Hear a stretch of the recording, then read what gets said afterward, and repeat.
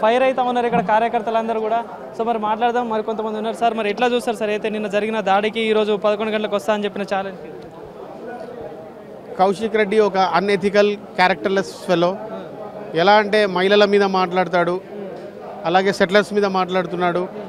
Governor గారి మీద కూడా ఇంతకుముందు మాట్లాడాడు. ఒక గవర్నర్ లాంటి స్థాయి మహిళ మీద మాట్లాడడము.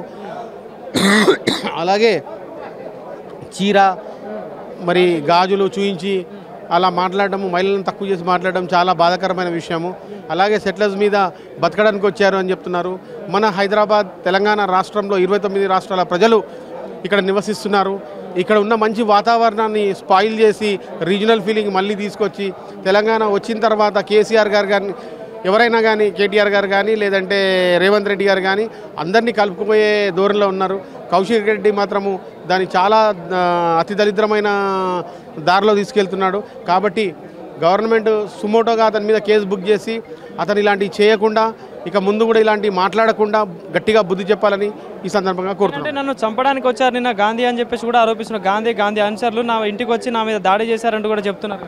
కౌశిక్ రెడ్డి రోజు కూడా రెచ్చగొట్టే రెచ్చగొట్టి ఏదో ఏదో మాట్లాడుతున్నాను ఏదో మీడియాలో ఉన్నాము ఏదో హైలైట్ అయ్యే ఎమ్మెల్యే గారి మీద మూడు సార్లు ఎమ్మెల్యేగా గెలిచారు. ఎమ్మెల్యే గారి మీద ఏదో అవాకులు జవాకులు పేలుతూ ఆయన ఏదో ఏదో హైలైట్ అవ్వడానికి ప్రయత్నం చేస్తున్నారు. అది చాలా తప్పు. కౌశిక్ కౌశిక్ రెడ్డిని చంపే అవసరం ఎమ్మెల్యే గారికి ఏముంది? ఏమైనా ఆస్తి తగాదాలు ఉన్నాయా? ఏమున్నాయి? ఆయన రెచ్చగొట్టే మాటలు రెచ్చగొట్టే ధోరణి వల్లే ఇవన్నీ జరుగుతున్నాయి. కౌశిక్ రెడ్డి మహిళల మీద కానీ సెటిలర్స్ మీద కానీ ఎమ్మెల్యే గారి మీద కానీ అందరినీ రెచ్చగొట్టే ధోరణిలో మాట్లాడుతున్నారు. పిల్లతనం ఇంకా పోలేదు కౌశిక్ రెడ్డిలో అనేది. ఏ పార్టీలో ఉన్నారో క్లారిటీ ఇవ్వాలని చెప్పేసి కూడా అడుగుతా ఉన్నారు మరి. పార్టీ పార్టీలో టీఆర్ఎస్లో ఉన్నారా కాంగ్రెస్లో ఉన్నారా అనే అనే దానికంటే కూడా ముఖ్యమైనది ఏంటంటే ఎమ్మెల్యే గారు పాలక పక్షం కాదు ప్రతిపక్షం కాదు ప్రజల పక్షాన ఉంటారు ఆయన ఎప్పుడు కూడా. అందుగురించే మూడోసారి కూడా యాభై వేల అతి పెద్ద మెజారిటీతో ఎమ్మెల్యే గారిని గెలిపించారు. కాబట్టి ఎమ్మెల్యే ఎమ్మెల్యే గారు ఏ పార్టీలో ఉన్నప్పటికీ ఆయన ఆయన స్థాయి ఏంది? స్థాయి మర్చిపోయి మాట్లాడాల్సిన అవసరం లేదు. కేటీఆర్ గారు ఉన్నారు కేసీఆర్ గారు ఉన్నారు హరీష్ రావు ఉన్నారు. ఉత్తగా ప్రజలను రెచ్చగొట్టి ఇలాంటి ఈ ఇబ్బందులు న్యూసెస్ చేసే ప్రయత్నం చేస్తున్నాడు కౌశిక్ రెడ్డి.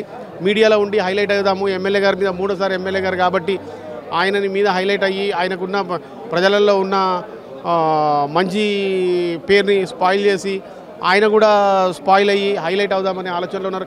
మంచిగా కానీ చెడుగా కానీ మొత్తానికి మీడియాలో ఉండే ప్రయత్నం చేస్తున్నాడు కౌశిక్ రెడ్డి.